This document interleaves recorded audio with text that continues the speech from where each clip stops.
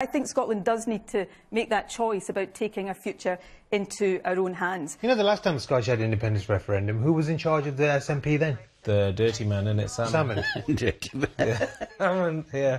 Why did you call him dirty man? man? bare dirty he is, yeah. He's, He's done some naughty things, oh. yeah. AOP's next. It's either Boris or Joe.